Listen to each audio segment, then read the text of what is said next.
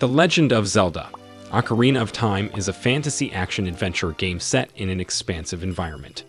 The player controls series protagonist Link from a third person perspective in a three dimensional world. Link primarily fights with a sword and shield, but can also use other weapons such as projectiles, bombs, and magic spells.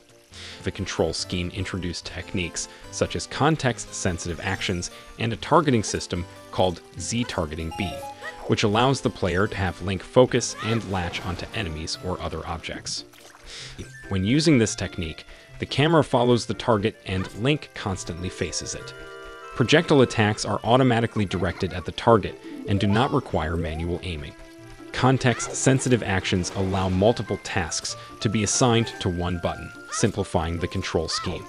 The on screen display shows what will happen when the button is pushed and changes depending on what the character is doing.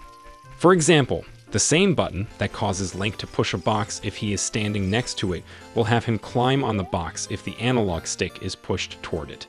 Much of the game is spent in battle, but some parts require the use of stealth.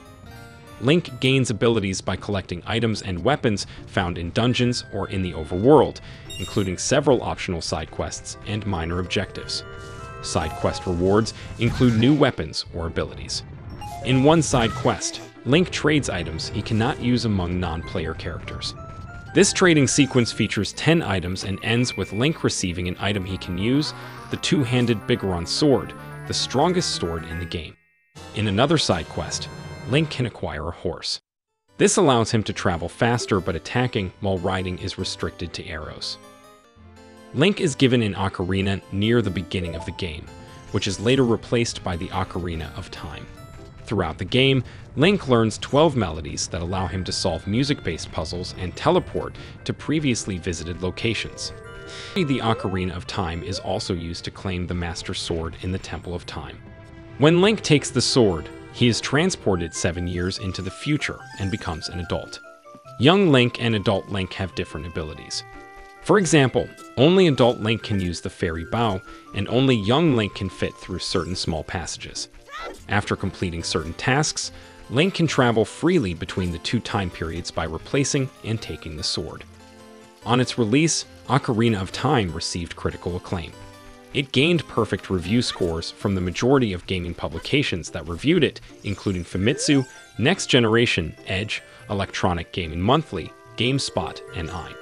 The review aggregator websites Metacritic and Game Rankings rank the original Nintendo 64 version as the highest and second highest reviewed game of all time, respectively, with average scores of 99 slash 100 from Metacritic and 98% from Game Rankings. The reviews praised multiple aspects of the game, particularly its level design, gameplay mechanics, sound, and cinematics.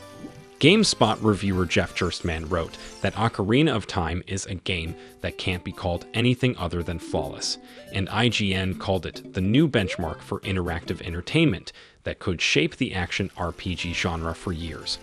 Editors of GameTrailers called it a walking patent office due to the number of features it contains that became industry standard.